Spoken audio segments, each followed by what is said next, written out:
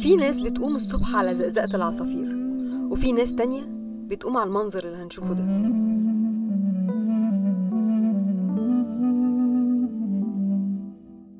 أنا أنا كفيف يقول لك أنا أنا كفيف جيت عميت هنا.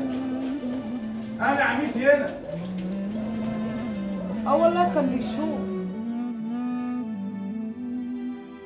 ومعانا اطفال صغيرة ده في الأوض كمان ده بارد قوي والثلاجات باظت والفرش باظ ده البني ادمين باظت كل البدارين نفس الوضع ده.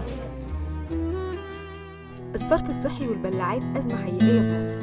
مش بس في البدرومات اللي كانت غرقانة مية لكن الغريب إن حتى المدن الجديدة ما يختلفش وضعها كتير عن اللي شفناه. مشكلة ال- البيوت هنا في 6 أكتوبر إيه؟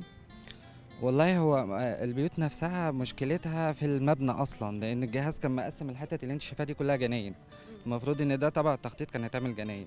طبعا المواصفات دي اللي هم عملوا بيها كانت أسعارها قليلة. فالمقاول دخل عمل أقل حاجة وأردأ حاجة ما استحملتش تقريبا سنة أو سنتين وحصل فيها اللي أنت شايفاه ده.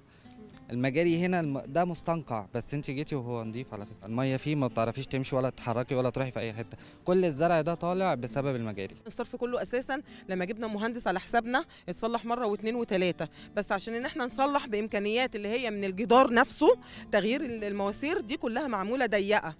يعني أساسا الصرف معمول من الأساس. العماير دي كلها اللي في حي العاشر كلها غلط. المجاري بايظة خالص ممكن نبلغ الجهاز ما عادي ما اكن ما فيش بني آدمين ساكنة في المناطق دي أساسا. غطين البلاعات ممكن تتسرق. المواسير أساسا دابت وبتتسرق. يعني مواسير المجاري دابت وبتتسرق. أنا مامتي حضرتك عندها 55 سنة وكانت رايحة تطل على والدتها ورجعت وهي ماشية في الطريق ما شافتش البلاعة العريانة فراحت واقعة فيها. البلاعة عمقها 12 متر تحت.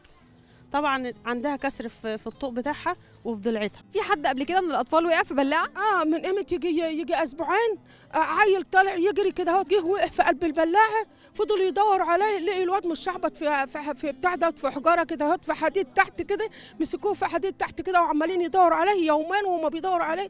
لما واحد جه عدى قال في عيل واقع ماسك في الحديدة دهوت يا ولاد.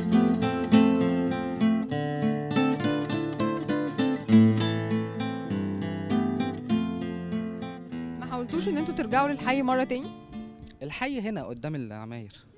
الحي أصلا المجاري ضربه قدامه 24 ساعة. إحنا عايزين مسؤول يشوف الصورة الحية دي اولا العمارة بتقرير من مهندس أخد بال حضرتك قايلة للسقوط هما مستنيين إيه؟ مستنيين لما إحنا نموت فيها والأرواح كلها من أطفال لكبار لصغيرين ساعتها يجوا يشوفوا اللي اللي حصل ده إيه؟